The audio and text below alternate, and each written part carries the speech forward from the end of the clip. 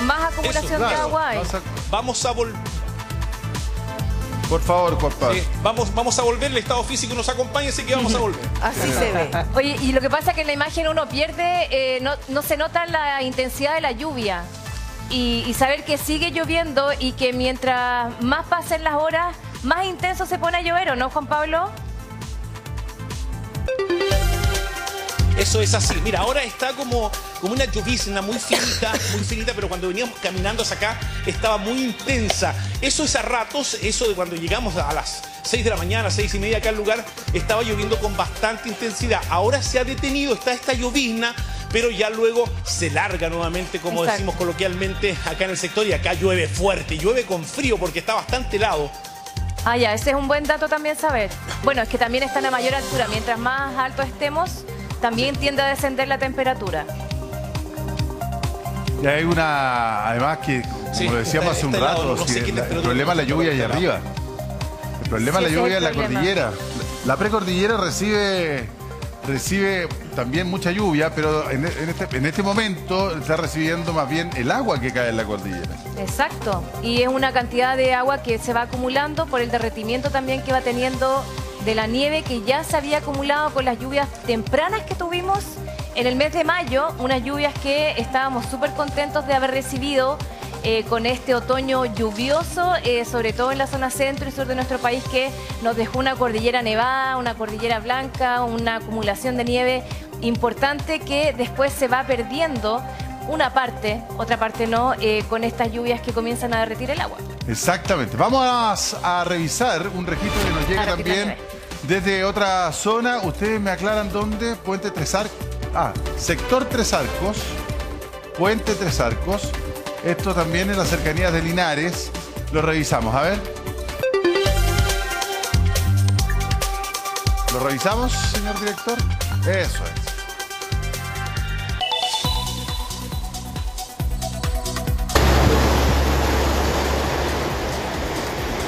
Ahí está, con la crecida del río. Ese es el río Ancoa, en otro sector. Ahí está el puente. Ah, este puente, claro, pues este puente se cortó el año pasado, ustedes recordarán. Ustedes recordarán. Y toda esta parte de acá es un relleno, entonces el miedo a que el agua comience a socavar. Creo que estos New Jersey son relativamente nuevos, fíjense ustedes ahí.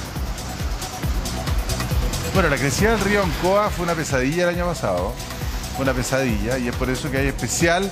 Fíjense que las mismas Linares Noticias, que llegan, digamos, hasta los puntos que ellos conocen y consideran críticos, a ver qué es lo que pasa. Y el río arrastra un montón, un montón de agua. Estos son los problemas que traen esta lluvia con isoterma baja. Perdón, alta.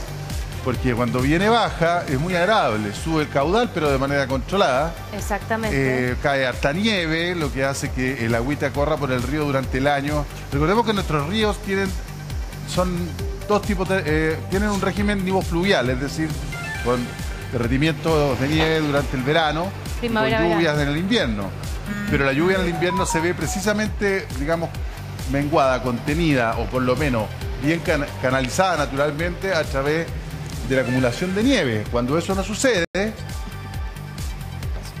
pueden pasar cualquier cosa. Se desbordan. Se deforma. Sí, todo bien, fuerte y claro. Mira, ahí está Juan Pablo Benito que sigue avanzando mientras vemos distintos puntos del río Ancoa. También nos mostraban el Achibueno, Me llaman, en la confluencia de ambos ríos, donde había algunos parceleros que estaban con problemas ya, que advertían que tenían problemas. Mientras vemos cómo se inunda todo esto en el callejón del Peumo.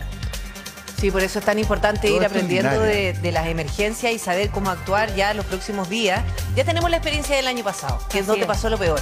Hoy día ya tenemos consecuencias muy similares, pero no al nivel de lo que ocurrió en el No, año no. 2023. Se Pero resulta que vienen más lluvias y cuando, tal como nos decía Cristian Salazar, cuando el terreno ya está saturado, aunque llueva menos las próximas lluvias, ya vamos a tener quizás inundaciones más rápidas. Claro, y lo- roja. Y lo que pasa es que nuestro país es tan variado y, y hay tantos lugares recónditos y donde vive gente, ¿no es cierto?, en distintas localidades, en distintos lugares que al final, claro, a lo mejor no, va- no está ocurriendo lo que ocurre el año pasado, pero afecta de igual manera a distintas familias, a distintos lugares, entonces igual es terrible y lamentable para las personas que son afectadas. Entonces, bueno, no estamos viendo lo que pasó en Licantén, pero sí estamos viendo que está afectando a otras familias y que podría afectar a muchas otras personas. Entonces, hay que estar atentos y se tienen que tomar las consideraciones necesarias. Por eso que ¿Cuál es la función de la meteorología? Es advertir estas situaciones y prepararse para lo peor. ¿Qué es lo que está ocurriendo ahora? Está lloviendo, va a continuar precipitando, va a continuar la lluvia durante las próximas horas, principalmente en la cordillera de la región del Biobío, en la cordillera de la región de eh, la región del Maule, derritiendo parte de la nieve que ya se había acumulado con los sistemas frontales anteriores, aumentando el caudal de los ríos. Esta precipitación declina en horas de la tarde, pero vuelve un nuevo sistema frontal el fin de semana y la próxima semana llegan dos sistemas frontales nuevos. Entonces, por eso que es importante eh, estar muy atentos a los informes del tiempo y toda la evolución que va a ir ocurriendo también las próximas si baja, Y si baja la intensidad y, no, se logra, digamos, eh, evacuar esa agua de ahí, eh, lo que decía don Jaime, que me parece que es la casa que está más abajo. Ay, se metieron ahí, Juan Pablo, ¿te metiste al...? Sí, está con la familia, Juan ¿Estás Pablo. con la familia?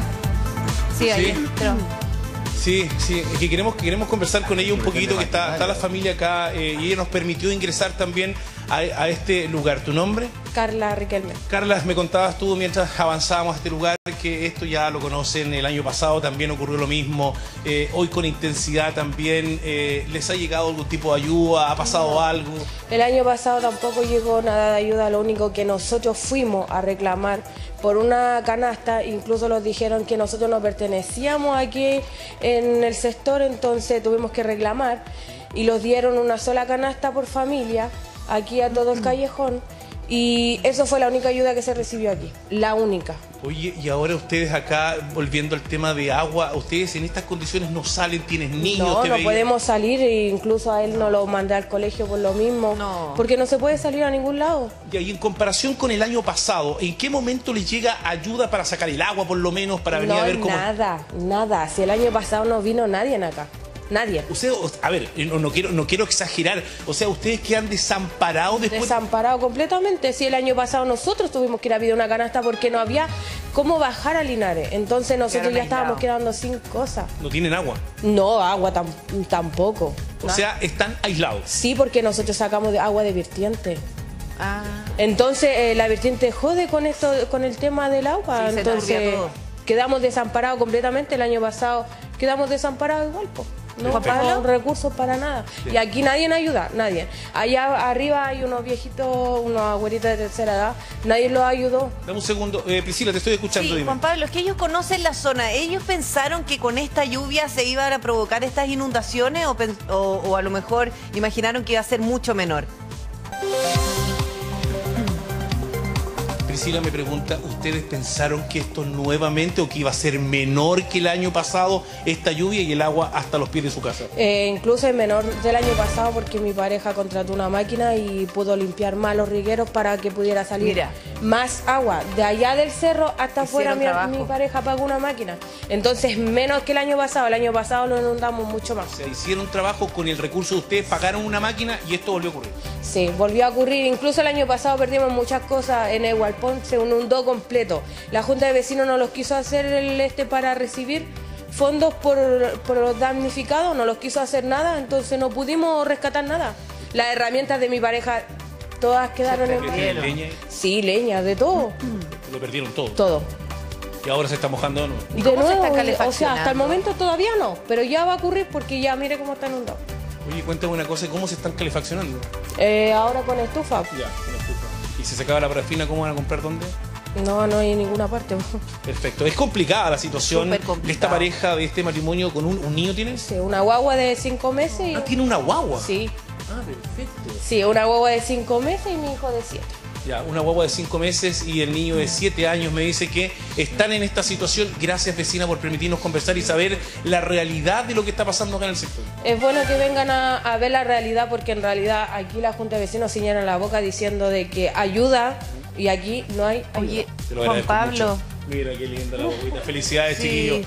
Oye, pu- dime, Priscila, Juan te estoy Pablo, escuchando. que dime. sabes que a mí me preocupa que la Carla esté ahí con su guaguita de cinco meses, además con su niñito, porque eh, no sé si ella a lo mejor necesita ayuda para salir, podríamos ponerla en contacto con carabineros, ir, ir a la casa de algún familiar, porque si va a seguir lloviendo, quizá hoy día, mañana, para no mantenerla ahí en la, en la humedad. Pero, eh, proponle eso eh, como, Uy, se me- como Se me solución. cortó el retorno, si me ayudan, chiquillos. Pero Entendí la pregunta, Priscila, pero si me vuelven a llamar, Ya. por favor, que quedé sin retorno. Pero escuché la, escuché la, la pregunta de, de- de Priscila. Eh, a ver, eh, si ustedes tienen que eh, salir desde el lugar, no sé si alcanzaste a Si captar quieren. algo tú, eh, producto de alguna ayuda que necesiten algo ustedes para ir, ¿cómo lo van a hacer? ¿Cómo lo hacen de acá? Porque nos preocupa, Si tienes necesita. una bebé, entonces cualquier emergencia en este tiempo puede ocurrir. Es que la única forma es la locomoción, digamos, de tenemos un vehículo, pero No, no, no va a alcanzamos a, echarle ni benzina ni nada, entonces como la opción sería un vehículo. Avísame, Juan Bajamos y Pablo, todo. si me escucha. Pero como dicen ahí hasta socavones, entonces es peligroso bajar, muy peligroso. Te lo agradezco mucho. De nada. bien. A ver, vamos, vamos a ver si vuelvo Sí. con el retorno yo. Sí, Juan Pablo, me avisa cuando me chiquillos, esté ahí escuchando. Para poder retomar el contacto con ustedes. Ahí sí tengo retorno, Sí, estoy Juan escuchando. Pablo, es solamente para ofrecerle a ella. Ya sabe que es complicado salir porque hay socavones, quizá en su vehículo no lo puede hacer, tampoco tiene la benzina suficiente, pero quizá es proponerle, eh, no sé, si necesita ayuda, si es que ella quiere salir de ahí, podríamos gestionarlo a través de Carabinero Teniente. Eh, proponle Para eso, porque ayudar. me preocupa que la guaguita esté ahí de cinco meses, imagínate con tanta Ya. humedad, no sabemos cuánto tiempo más va a mantenerse ahí aislada. Solo si ella quiere. Nos preocupa mucho tu bebé, nos preocupa mucho. ¿Quieres salir desde acá del lugar para nosotros gestionar con carabineros algo que les puedan venir a retirar, ¿Acaso a buscar de este lugar? ¿Tú lo quieres? No, porque hasta el momento no nos ha pasado nada y esperamos ojalá que no los pase nada. Aparte de estar aislados no nos puede pasar nada, yo creo. Entonces es mejor estar aquí que en un refugio, que no sé si mi hija se me va a enfermar con todo esto. Sí. ¿Cómo se calefacciona? Entonces prefiero estar aquí en mi casa. Lo ofrecimos de todas maneras. Sí, muchas gracias. Se pasaron y es bueno que salgan a ver a la gente igual. Hay Lindo, mucha gente que lo necesita. Muchas gracias por permitirnos ingresar a la casa de ustedes. Priscila, agradece también el gesto. ¿Tú necesitan, necesitan algo? ¿Ustedes van a estar acá? ¿Necesitan algo? Porque hay gente que... ¿Agua? Agua es lo más Agua. importante, sí. Y vela, porque yo creo que luego se va a cortar la luz. Ah, Perfecto. Vamos, a, vamos a tomar el contacto de ella, nos vamos a quedar con su registro desde acá, chiquillos. ¿Me permiten un segundo para tomar Dale el nomás. teléfono de ella? Sí, tómale el teléfono, es importante porque cualquier cosa que ella necesite, la Carla, que se contacte con nosotros, así nosotros podemos comunicarla directamente con carabineros del sector, al menos ya sabemos, teniente, y usted levanta esa información, porque en esa zona hay una agüita de cinco meses. Si es que va a seguir lloviendo, tal como nos dice la Michelle, las condiciones van a seguir empeorando. Entonces, claro, ella dice, no nos ha pasado nada, nos mantenemos aquí, no se puede obligar a una persona a evacuar. Pero ella tampoco quiere un- eh, ir a un refugio, ojalá tuviera un familiar, alguien que la pueda recibir para, para que estén todos a No, resguardo. y, y ahí lo- los carabineros de allá que, que conocen el sector eh, siempre están a disposición también de cómo poder ayudar. De hecho, hay algunos que las familias le pidieron ayuda a la leña y están ayudando a cortar leña también para que puedan tener y calefaccionarse. Eh, hay otras personas que si llegasen a requerir también algún tipo de evacuación o algo, o, o quieran información, o necesiten también algo importante, ahí van a estar los carabineros. Si andan, andan patrullando ciertos Y sectores. parafina le podrían llevar, sería mucho pedir. Lo que pasa es que su estufa parafina parece que no tiene. Por eso eh, yo la calefacción. Ahí ¿cuánto de hecho estamos, estamos coordinando también con, con una patrulla que anda en el sector para que pueda Ya. conversar también con los vecinos y levantar también es- es- estas inquietudes o estas necesidades y coordinarlas también con otras instituciones también, con los municipios. Entonces, uno también se, como carabinero se transforma en un canal canalizador de información, de requerimientos, coordinador, y eso es lo que también están haciendo en el sector. Así que vamos a ir ampliando en los próximos minutos, nos van a ir informando ahí en breves cuando Sí, se puedan de todas contactar. con- maneras, y nos quedamos con el contacto de, de la Carla y ella lo tiene Juan Pablo Benito. Mire, vamos a tomar contacto con. Elizabeth Hernández. Elizabeth Hernández está en otro sector también de la región del Maule, cercano a Linares, borde de río, entiendo, Elizabeth, ¿cómo le va? Hola, buenos días. Sí, estamos al borde del río Maule acá. Eh, les voy a mostrar de frente cómo está el río. Eh, si puedo dar vuelta a la cámara porque me va a contar. No se preocupe, tómese Eh, tiempo. Y sigue lloviendo. voy a tratar de dar la vuelta. Si no, Y cuando se moja el celular no se puede... Es que a veces se moja el celular y se pone medio porfiada la pantalla. Que, que, que, que funcione el touch Sí, de la pantalla. Pero muéstrenos usted misma con el celular, Elizabeth, porque al menos ya vemos que, que sigue lloviendo en esa zona y ustedes están justo en el borde del río. ¿Cuál es el mayor peligro que corren ustedes ahí? Eh, la verdad, en este sector el mayor peligro es que entra el agua desde arriba, desde el, el sector donde mete el agua en los canales de riego. Claro. eh, y entra por detrás de la, de la casa, más que por el borde del río. Eh, pero hay sectores más arriba que pasa por el lado al lado de las casas. Que de hecho el, el año pasado se llevó varias casas más arriba. Claro, que el año pasado de verdad nos dio una tremenda lección esto. Ya sabemos cómo se comportan los ríos. Eh, en esta oportunidad tenemos una lluvia que por supuesto es mucho eh, me- o es menos intensa. Pero Elizabeth, eh, yo me imagino que también aquí ustedes el, el riesgo que corren ya saben ya por dónde puede ir. Hay casas que podrían estar en riesgo, hay personas que necesiten ayuda y que probablemente también necesiten salir del lugar. Cuéntenos cuál es el escenario. Por el momento no, porque eh, todos ya estamos acostumbrados a estos inviernos, entonces al momento de, de que vemos que el río sube alto, eh, empezamos a evacuar a los sectores más altos. Eh, y eh, por lo general las autoridades se preocupan de la gente. Ya. ¿Y tienen eh, dónde bueno, evacuar? les avisan si, si quieren evacuar. Algunos no quieren por no dejar sus casitas solas Eso porque pasa. Eh, los amigos del ajeno ahí Sí, en se hacen cargo. Sí. Pero eh, ya estamos acostumbrados a los inviernos para acá en este sector. Ya, y de esa manera. Claro que habían pasado hartos años que no, Claro. no llovía así tanto. Oiga, y el riesgo para las casas entonces está por, el, por los canales de regadío que se, que se desbordan. Exacto. Entra por ahí, empiezan a entrar por los potreros que le decimos nosotros, los, Claro. los sectores más planos. Elizabeth, y Y ahí una pregunta eh, respecto a tu experiencia, la velocidad con la que pasa el agua es como mucho más fuerte que otras Está veces. súper turbia, pues, mira. Exactamente, sí, porque trae, ya se está deshielando la nieve, ya queda muy poca en la alta cordillera, entonces se viene todo arrastrando eso y por lo tanto va subiendo el, el río, pero al menos ya el, el canal del frente se ve aún. El año pasado ya en esta fecha, sea, cuando fue los, los desbordes ya el, el camino del frente no se veía y ahora se ve. Ah, ya. Oiga, y cuénteme una cosa, ¿con quién está usted, Elizabeth, ahí? ¿Cuántos vecinos son? ¿Cuántas casas son las que ¿usted conoce la están así como un, po- eh, un poquito En temerosas el ya sector con son esto? más o menos más o menos alrededor de 200 casas. Ah, 200 entre casas. familia hay gente que claro pero muchas de ellas son casas de segunda vivienda porque Ya. son Ya. cabañas Ya, pero la Pero- primera vivienda, ustedes ya tienen identificado, más o no sé, menos yo creo que unas 100 casas ya, unas 100 casas, de esas 100 pero no casas, todas al borde de Elizabeth. Ya, no todas están, están Sí. en riesgo, pero es importante saber Claro. de las casas que ustedes pre- presumen que puedan estar en riesgo, adultos mayores, niños, guaguitas, alguien que pueda re- re- eh, necesitar ayuda, para que podamos hacer también la conexión aquí con carabineros y levantar esa información. sí no por el momento nada están todos súper bien pero eh, con la preocupación de que el, el río siga subiendo Elizabeth, ¿le puedo hacer una pregunta? ¿Cómo, sería el acceso o, o por dónde ustedes puedan salir? ¿Cómo están las condiciones de ese camino? Porque la verdad es que tenemos que aprovechar al máximo la luz de día para hacer una eventual evacuación. Eh, ¿Ustedes tienen claro Sí. cuáles son las zonas seguras para evacuar?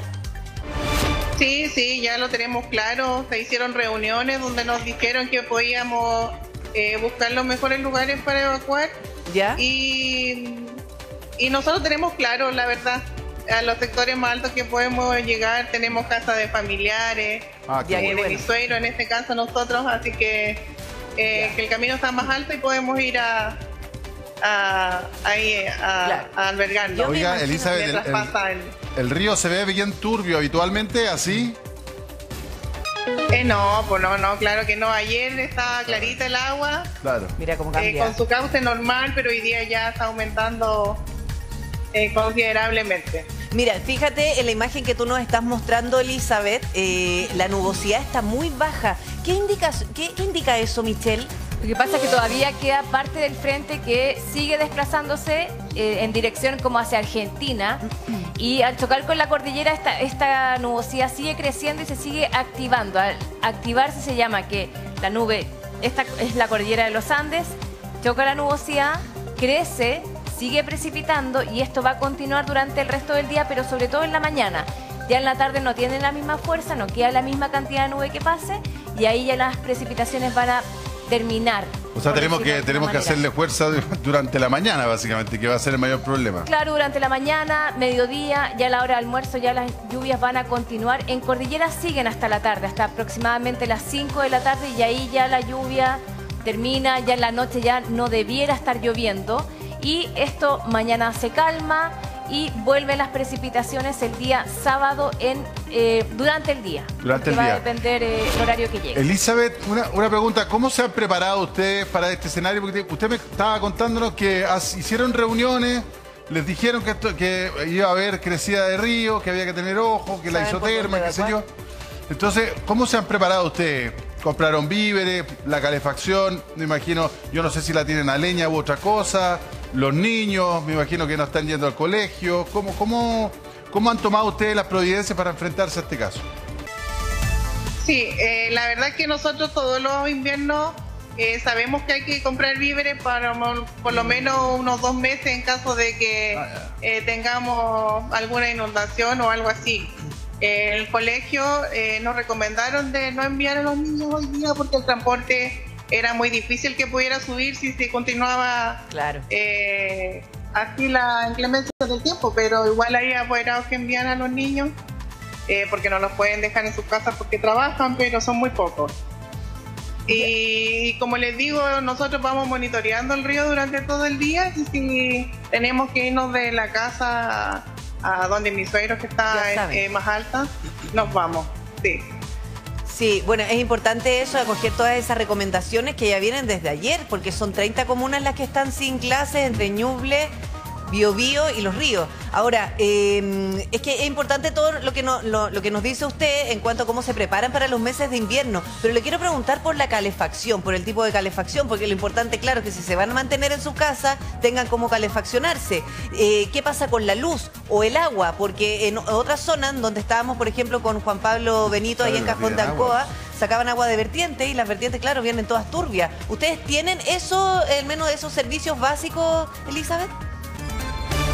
Sí, eh, lo que pasa es que como les comentaba que nosotros ya estamos acostumbrados a este invierno, tenemos estanques de agua eh, Ya. para abastecernos. Eh, la Muy calefacción bien. es a leña, Muy bien. eh, así que eh, grandes problemas con respecto a eso no tenemos. Ya. Eh, la luz, por lo general, cuando hay viento y la tormenta que había ayer, que era relámpago, trueno, Ah, eh, se corta eh, durante un tiempo, eh, pero después, con el, eh, al pasar de las horas, eh, se restablece el servicio porque la, la compañía, por lo general, está ahí viendo todas las emergencias que existen en el lugar.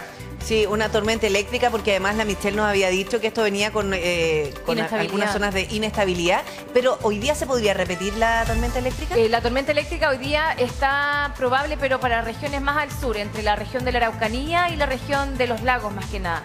Hoy día la posibilidad eh, de tormenta eléctrica no está en esta región. Está un poco más hacia el sur. Un poco más hacia el sur ya. Sí. Bueno, ahí vemos la turbidez del río Mau. Les había advertido si aquí los, los problemas de la lluvia. eh, Elizabeth, están acostumbrados a la lluvia, se preparan Sí, para el invierno, supuesto. son zonas que saben que, se, que, Oye, que- sí. que crecen los ríos, pero el problema son, y, y lo, lo vuelvo a repetir, el tema de la isoterma. Así es, Eh, se conjugan distintas cosas y la isoterma fue elevada producto del acompañamiento de este río atmosférico. Claro. Eh, mira, es que... pero además como ya cayó nieve en la primera parte del otoño, Por eso que nosotros decíamos que se iba a conjugar un match perfecto para que se produjeran problemas, porque lo primero era la llegada de este denominado ciclón, que no era más que un área de baja presión, que se iba a instalar, que tenía una característica muy eh, especial, que se iba a situar de manera estacionaria frente a las costas de nuestro Claro, país, al claro. menos durante 10 días, y que iba a ser como un pase libera, eh, un, un área de baja presión, un sistema frontal que iba a dar el paso libre para que pasaran varios sistemas frontales. Estos sistemas frontales además asociados a ríos atmosféricos que iban a elevar la isoterma cero. Y esto iba a ayudar a que cayera eh, lluvia en vez de caer nieve en la cordillera. Como ya había caído nieve en cordillera, derrite la nieve que ya estaba acumulada, por lo tanto aumenta el caudal y aumenta el caudal de eh, los ríos y genera estos Sí. posibles em, ¿cómo se Crecida. llama? Crecida de los ríos. Oiga, Elizabeth, perdón. Muchas. No, si es que la Elizabeth nos da cuenta de todas las consecuencias de eso, porque resulta que Elizabeth, por ejemplo, tú nos, de- de- tú nos decías en alguna oportunidad que se daba cuenta de la turbiedad del río porque además ya había derretido la nieve que tú veías en, la- en las zonas más altas. ¿Ya no se ve nieve en esa zona? Eh, no, al menos en esta zona no. Eh, estábamos conversando durante la mañana con unos compañeros de la Cámara de Turismo de la ruta Pehuenche acá y ellos nos van informando y dicen que en la alta cordillera ya eh, están eh, cayendo, o sea, bajando harto la nieve con Claro. respecto a lo que había ayer. Claro, Así que todo eso se va a ir bajando por el río Maule.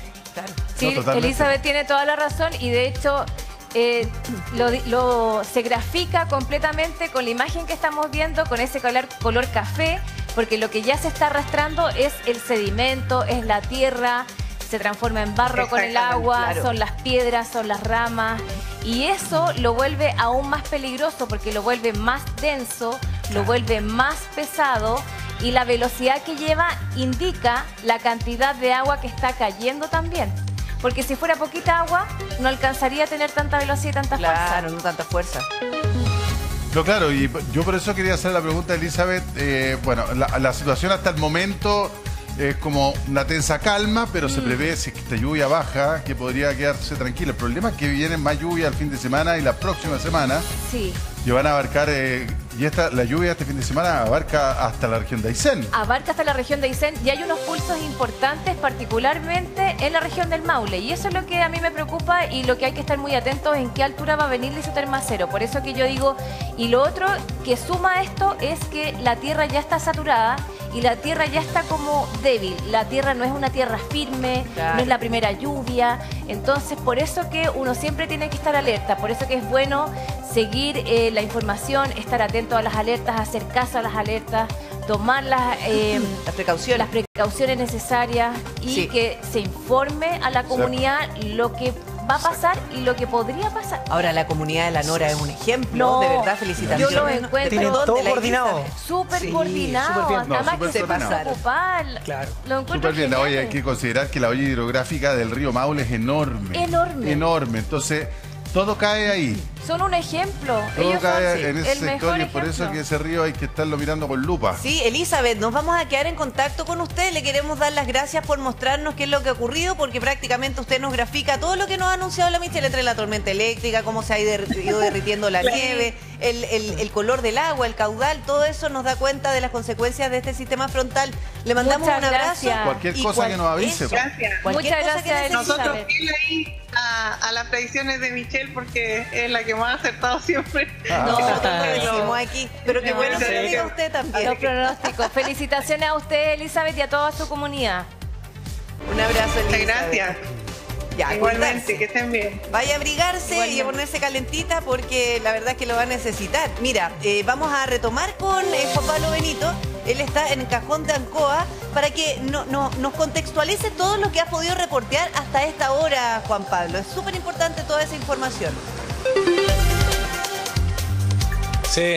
Gracias, eh, Priscila. A ver, estamos ubicados acá donde ocurrió en el invierno pasado esta tragedia, justamente en el callejón El Peumo. Aquí estamos ubicados nosotros en el sector del embalse Ancoa, donde el agua, ustedes ya podíamos hacer todo el recorrido al interior de este callejón. Hay vecinos que han llegado acá también, que están viendo eh, la televisión y han salido, obviamente, a indicarnos dónde están las mayores complicaciones. A ver, reiteremos, estuvimos en un socavón en la mañana que sigue cediendo. Recién teníamos contacto con Senapred y nos dice que está conificado tal como lo vimos en la mañana y de ahí rápidamente a través de los llamados del WhatsApp que tenemos con la Junta de Vecinos de acá también del sector del Peumo con César nos indica que acá está la situación como ustedes la ven en mi espalda.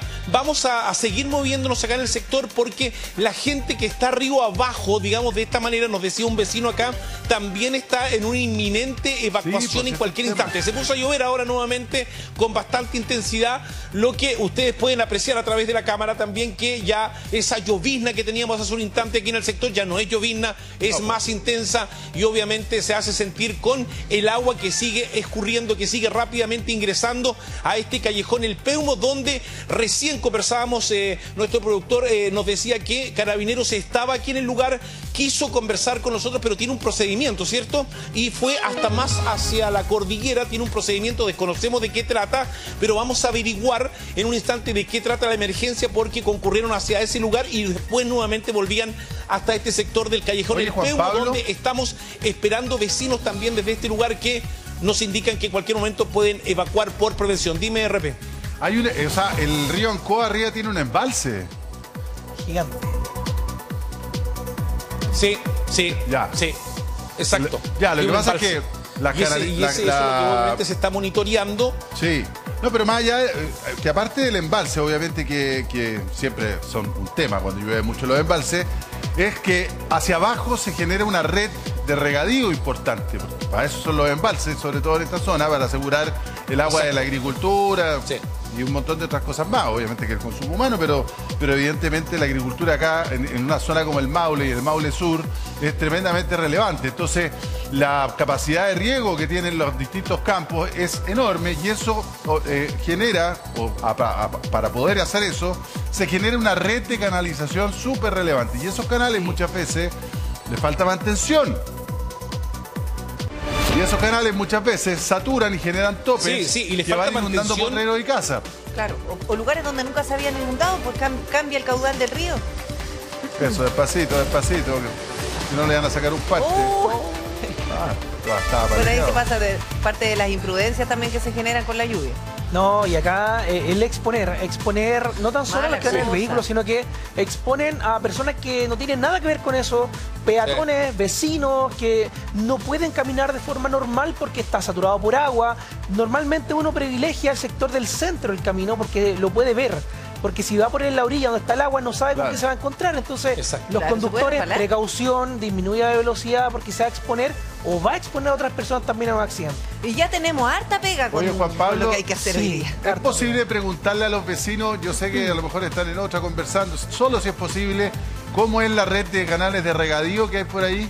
Porque yo lo que, he vi- lo que hemos visto, lo que nos ha mostrado Juan Sí. Pablo, es que los canales se están saturando y eso está inundando los potreros. Amigo, eh, estamos en directo. eh, ¿Tu día, su nombre? Luis Soto. Luis Soto, ¿usted tiene alguna idea de cómo funcionan los eh, canales de regadío acá? ¿Se hace limpieza? Eh, ¿Se hacen limpiezas habituales? ¿Te conoce del tema usted, es habitante acá del lugar? Bueno, por lo que yo tengo entendido, eh, hay un sistema de vigilancia de los canales y ellos son los encargados que tienen que, que limpiarlo. ¿Y los canales acá cómo ¿Se hace están? ¿En qué condiciones? Bueno, lo que pasa es que es demasiada el agua. ¿Se hace la pega? Sí, no, si esto ocurre porque es demasiada Ah, la lluvia, el agua que cae y se rebalsan lo- los canales. Usted todos los años, todos los años ha visto la misma situación aquí. Claro, pero cuando llueve así en gran cantidad, sí. Perfecto. Gracias, vecino. Juan Pablo. A ver, vamos a pedir a los chiquillos ahí que nos vuelvan a... El retorno lo hemos perdido, a ver si podemos recuperar el retorno, chiquillos, que acá Ya. con el agua, de verdad que eh, Sí, se nos moja todo. Les pido, por favor, chiquillos, si nos pueden volver a llamar. De todas Gracias. maneras, en eso estamos Sí, pues es que las comunicaciones también se ponen mucho más complejas cuando está lloviendo. Pero mira, son las 9 de la mañana con 52 minutos. Esperamos un pulso importante. Ya estamos viendo que está cayendo más lluvia desde que comenzamos el contacto con eh, Juan Pablo Benito. Michelle sigue revisando todos los pronósticos eh, y modelos meteorológicos para ir actualizando esta información.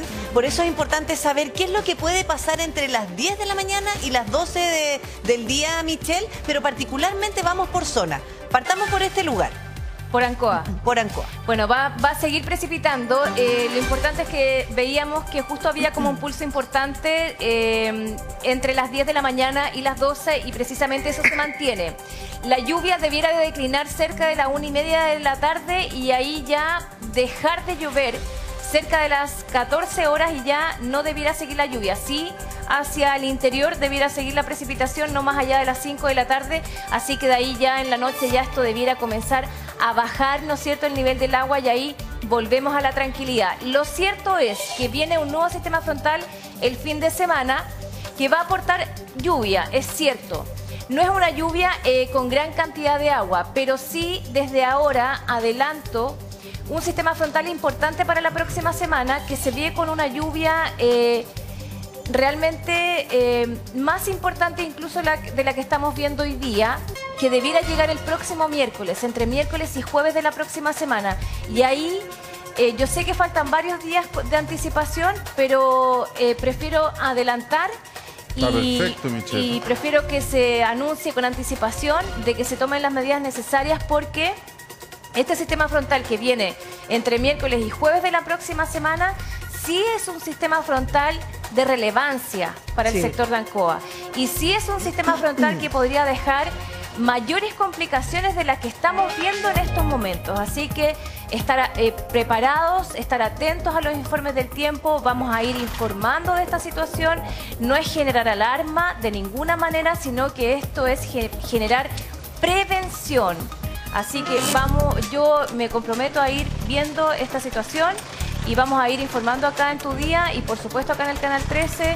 Eh, Gianfranco también sé que va a ir eh, entregando esta información porque el próximo miércoles se ve esta lluvia importante para Ancoa. Sí, por eso estamos tan pendientes de lo que ocurra hoy día y Juan Pablo ya tienes la posibilidad de conversar con eh, algún eh, lugareño, me imagino, personas que se están trasladando en esa zona que está bien compleja.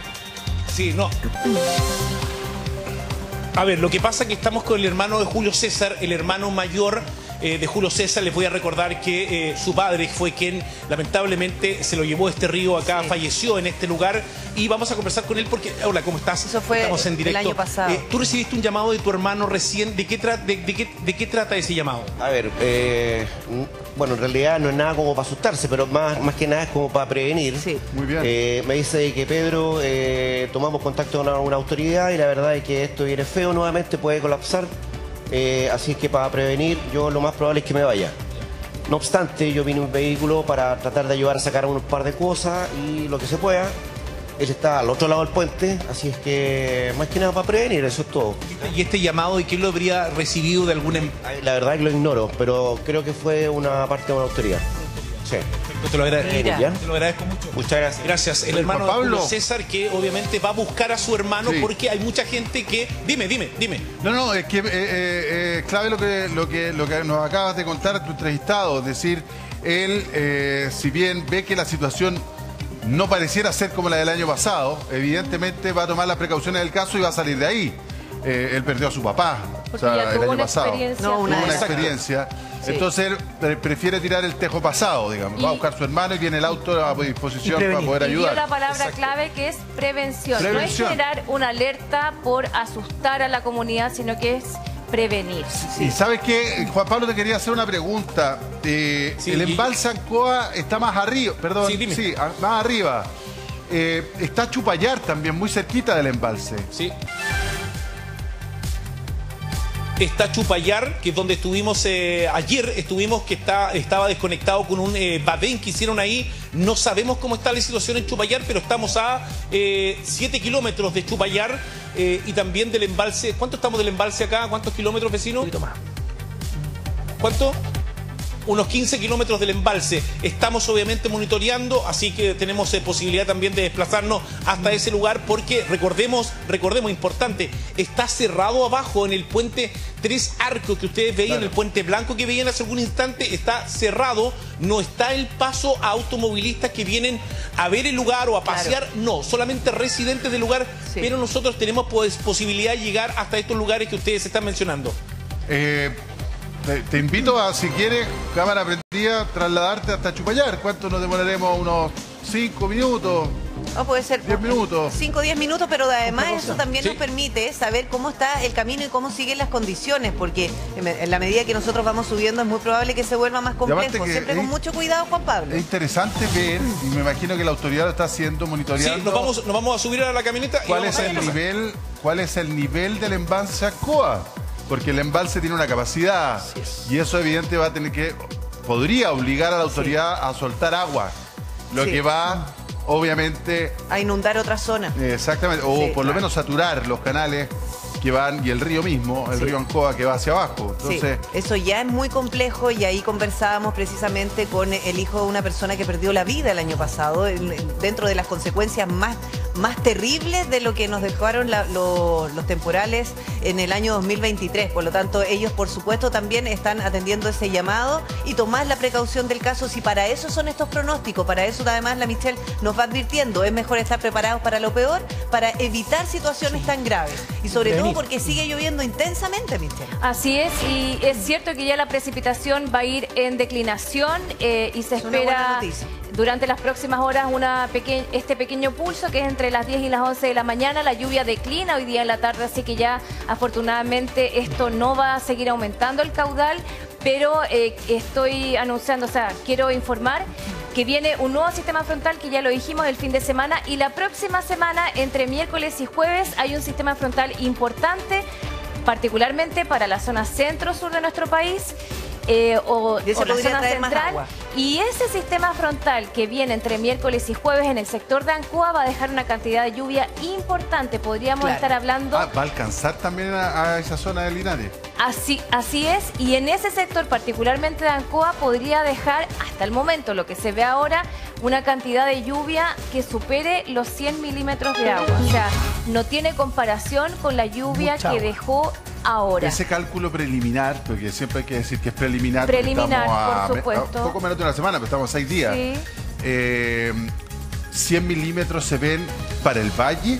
No, para el sector de Ancoa, para, la- Ya, para para el mismo sector que En estos momentos en precordillera ha dejado una cantidad eh, aproximadamente de en 40 en yo vi que la última precipitación dejó una acumulación de 60 milímetros, ahora podría ser casi el doble de precipitación. ¿Sabes Wow. que es bueno además considerar ese pronóstico, Michelle, porque ya serían dos sistemas frontales que vendrían dentro de la próxima semana?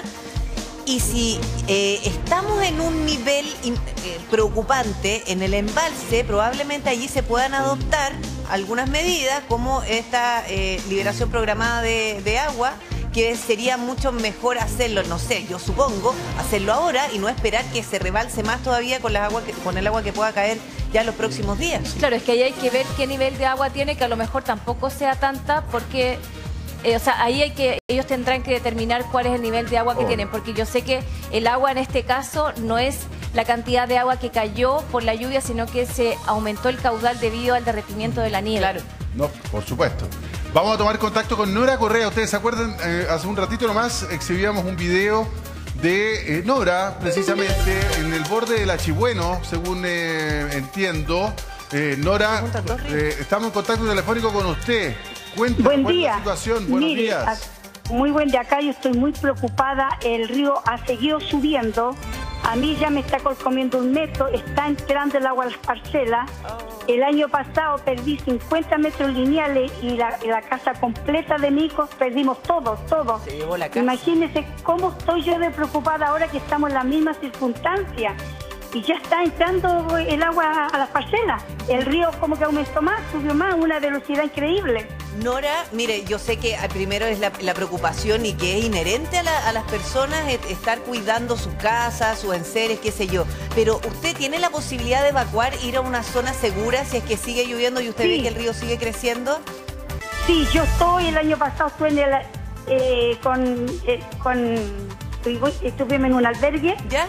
En Yancanao y ahora ya tengo todas las cosas arriba, eh, la emergencia en mi vehículo, eh, si tengo que evacuar, claro que sí, Nora, voy a evacuar. usted, junto, eh, ¿quiénes componen su familia? Y también que me pueda contar también de su, de su comunidad o algunos vecinos que podrían Lo- necesitar ya, más ayuda. ah, mire, lo que pasa es que yo aquí estoy con el presidente de la, de la Junta, él, él tiene más antecedentes que yo. Ya. ¿Cómo se llama el presidente? Eh, Don muy, buena- eh, muy, muy buenos días.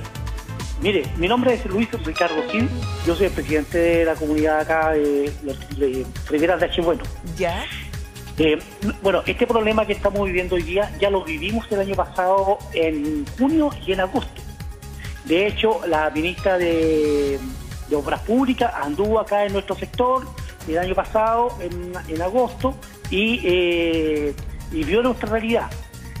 Producto de esto, en el mes de septiembre, la Dirección de Obras Hidráulicas de Talca, eh, a través de la regional Talca, eh, vinieron, tuvieron una reunión con los vecinos y dijeron que habían dispuesto de 1.500 millones de pesos para encauzar el río y solucionarnos en parte este problema. Ya. Situación que nunca ocurrió. No se Nunca, no, no hicieron ningún trabajo con esos 1.500 millones de pesos. Y posteriormente, como esto no hacía trabajo, eh, a través de un parlamentario llegamos a hablar con la ministra de Obras Públicas el día 6 de noviembre. El 6 de noviembre, la ministra, cuando nos entrevistó, ella tenía la convicción de que los trabajos se habían realizado. Pero de la Dirección Nacional de Obras Hidráulicas le señalaron que no, que hubo un problema con la, con la empresa eh, que había ganado la licitación, un problema administrativo, pero que los trabajos se iban a hacer chileno. el 15 de diciembre. Ya, Al y nunca 15 de se hizo. diciembre De, ese- de ese año. En Ahora, la misma don Luis, entrevista, Don Luis, es que explíquenos ya. Me- eh, En buen chileno, ¿Qué era esto no, se hizo un trabajo que ya a esta altura ya lle- llegamos tarde. Pero le quiero preguntar, la preocupación hoy día es cómo están ustedes. ¿Necesitan ayu- alguna ayuda adicional? ¿Podríamos Sí. coordinarlo con carabineros? No sé, algunos No, no, adultos no, mayores, no, no. niños que te- necesiten salir Sí, de la hay- zona. aquí, la mayor parte de la población nuestra, de la comunidad, son adultos mayores. Y, es gente que vive acá, porque muchas veces piensan que somos casas de segunda, segunda vivienda. Ya. Y no es así, no es así. Nosotros vivimos acá todo el año, ¿me entiendes? No, en este contexto, no porque hemos estado en alerta, como ya nos pasó el año pasado, Sí. y hemos estado en alerta, No, se de las aprendieron 3 de de la mañana, forma. de las 3 de la mañana andamos vigilando el río, y en este periodo estamos todos en alerta. ¿ya? Estamos focalizados. Lo que necesitamos es que eh, las autoridades vengan y nos puedan colocar, colocar un tabique, o sea, un tabique ahí de... de ¿Alguna de contención? Una contención al río, porque cada minuto que pasa, el río nos golpea más fuerte y nos sigue comiendo la propiedad. Sí. Y, el riesgo que se lleven más casas, porque el año pasado perdimos 12 casas 12. En, en la comunidad, 12 casas el año pasado, y eh, no queremos que este año vuelva a ocurrir lo mismo. Oiga, don Luis, ¿y las personas que perdieron esas casas, dónde están? Aquí, eh, bueno, aquí hay una persona que llegaba, le entregaron una casa De emergencia. de emergencia, una casa de emergencia, pero que no reemplaza lo que él tenía, pero le, le sirve para vivir. Y, y- y están acá. Hay otros, hay otras personas que lamentablemente no pudieron, no, no, no, no pueden estar ya ahora mismo con esta situación. Recuerde, eh, el Frente Más Tiempo se anunció la semana pasada y desde ahí, especialmente los adultos mayores ya no están durmiendo. Y ese es un tema. ¿Ah? La, la- la- la- la parte de salud mental de, de- de- No, de nuestra angustiante. comunidad es, es- es muy afectado. Entonces, eh, yo creo que la autoridad debía ponerse un poquito la mano en el corazón y prever estas cosas. Nosotros sea, venimos claro. desde el año pasado. O sea, si la ministra cree, dijo, o ella creía o fue informada de que esto Es ya se debería estar subsanado y no fue, alguien tiene que darle una explicación a la ministra y por supuesto principalmente a los vecinos, porque no, no puede ser que obras de mitigación, ¿qué, qué es lo que, que- que buscan? 10.500 millones de pesos. Estamos hablando de una obra de mitigación que uno podría pensar que es importante lo que se estaba planificando. No, o sea, eso, eso no es nada. A nosotros durante la entrevista, un parlamentario nos dice, eh, eh, hemos aprobado 19 mil millones para eh, solucionar los problemas de- del cajón. Entonces, ya a esos 1.500 le sumamos 19 mil, estamos hablando de 20.500 millones. Claro, y usted- Entonces, y y usted- nosotros no hemos visto obras. Y usted es el presidente de la Junta de Vecinos y seguramente eh, es el llamado a estar más informado y usted no tiene idea de qué ha pasado con eso. Exactamente, mire, recién hoy día, después de no sé cuántos meses, recién hoy día me comunico con el director regional de la División de Obras Hidráulicas. Recién hoy En día. medio de la Claro, emergencia. cuando está la lluvia. Cuando está la Claro. escoba. Ahí se acordaron. Claro, ahora cuando no. Y fue porque llamé a la Dirección Nacional y a ellos y allá la, de la secretaria ¿Qué le de la dijeron? Nacional, ¿ah? ¿Qué le dijeron? que no pueden hacer nada porque mientras estén, eh, el, el cauce del río esté así como está, no pueden hacer nada. O sea, no pueden hacer nada durante todo el invierno tampoco. Este es el tema. Yo nosotros le ofrecimos nuestro acceso, que pasen por nuestra propiedad Sí, y pero- puedan eh, meter eh, Oiga, don material Luis. para poder contener, pero hay están viendo porque según- eh, según ellos la Dirección de Obras Hidráulicas no tiene maquinaria para eso, solamente lo tiene vialidad. Yo dije, bueno, pero coordinen si es un mismo ministerio. Claro. No, es un es mismo que ministerio, aquí coordinen. en- en- es que al, al final esto es un problema de inoperancia, don Luis, y y una falta de empatía, porque saben que esto iba a volver a ocurrir con una lluvia importante. Sa- sa- sa- ¿Sabe lo que, lo que, lo que, lo que da ¿Cómo pena? no se ponen en el lugar de ustedes? No, y es que no solamente somos nosotros, es que son cientos de familias las que viven eh, en, en torno a, a- a- los ríos de acá de Linares. Son cientos de familias. ¿entiendes? Entonces, resulta que eh, aquí lo que pasa es que la dirección de obra hidráulica no tiene ningún control. Pero más teniendo los Nadie recursos. controla, sí. nadie controla lo que hace. No, claro. Ese, ese problema, mire, eh, manténgase ahí por favor, don Luis, porque usted nos puede entregar mucha información. Vamos a conversar con Mario Mesa, que es el alcalde de, de Linares. Exactamente. Va camino a la zona cordillerana, por supuesto, a monitorear todo lo que ocurre allí y nos puede contar qué es lo que ha visto hasta ahora y qué es lo más urgente que tiene en la zona, porque además está bien complicado, alcalde. Buenos días. Hola Priscila, buen día y buen día también a José Luis y Buenos a días, todas las personas que nos están escuchando. Alcalde, bueno, cuéntenos un poquito qué, cuál- qué es lo que está pasando en su comuna. ¿Qué es lo que ha podido advertir hasta ahora?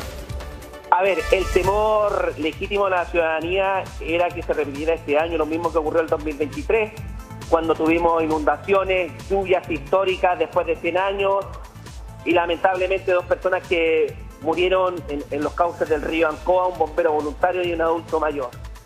Estuvo lloviendo toda la noche, aumentó considerablemente el caudal del río Achigüeno. Eh, Linares es una ciudad que tiene 120.000 habitantes, somos cabecera de provincia. eh, y de los 120.000 habitantes, un 25% es zona rural y precordillerana. Y la precordillera se conecta a través del río Ancoa y del río Achigüeno. Y el río Achigüeno aumentó considerablemente su caudal, por eso la autoridad decretó eh, alerta roja, esto de las 7 de la mañana. Nosotros a las 5 de la mañana ya estábamos con alerta amarilla, recorriendo los distintos sectores de la ciudad. Hay una evacuación preventiva en el sector de Yepo Peñasco, que es del río Achigüeno. En el kilómetro 27,5 también del río Achigüeno eh, hay... Ahí donde estábamos conversando con Luis, no sé si alcanzó a escuchar, alcalde. No, no, no alcancé a escuchar ahí. Ya.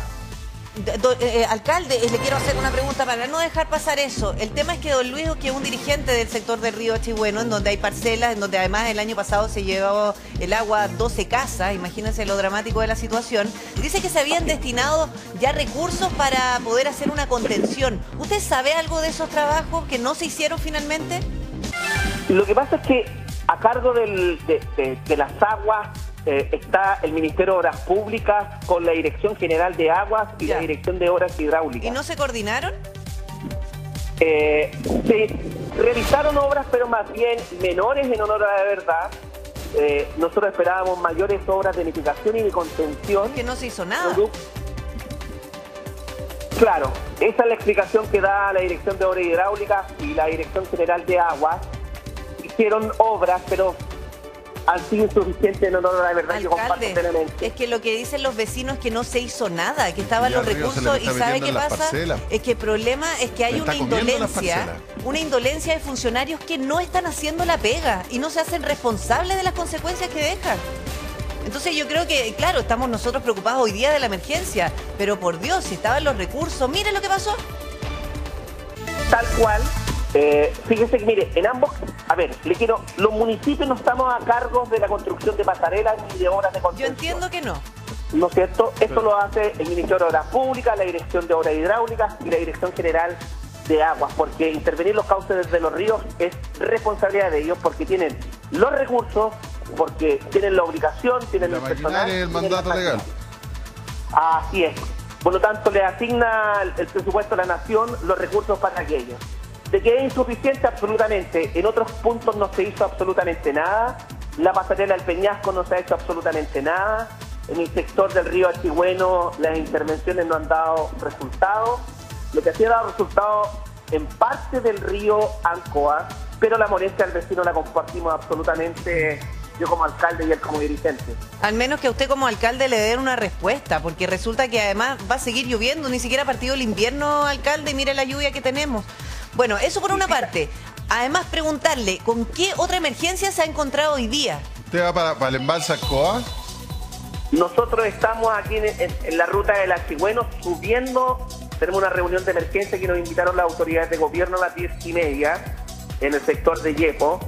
Eh, ¿qué, qué otra emergencia? En el embalse Ancoa, que es el otro cajón, el embalse Ancoa tiene una capacidad de llenado que hoy ya tiene un 50% de cota máxima de lo que se ha llenado. Por lo tanto, las lluvias han desaparecido, pero se espera, se espera que llueve en las próximas horas. Lo que está haciendo ahí la autoridad, la, la, DC la Dirección General de Agua, es intentar poder evacuar las aguas porque Claro, programada. son muchos los metros, son muchos los millones de metros cúbicos que tiene la capacidad, pero que ya llega un 50% llenado. Sí. Y lo que ha llovido eh, no ha sido mucho en comparación al año 2023. Sí, pero va a seguir lloviendo en los próximos días, No, alcalde. claro, Y hay que evacuar de a poco, porque si Claro. tiráis el agua de un suácate, dejáis Sí. la escoba arriba abajo. Alcalde, un millón de gracias. Don Mario Mesa, vamos a seguir pendientes con el... Ser también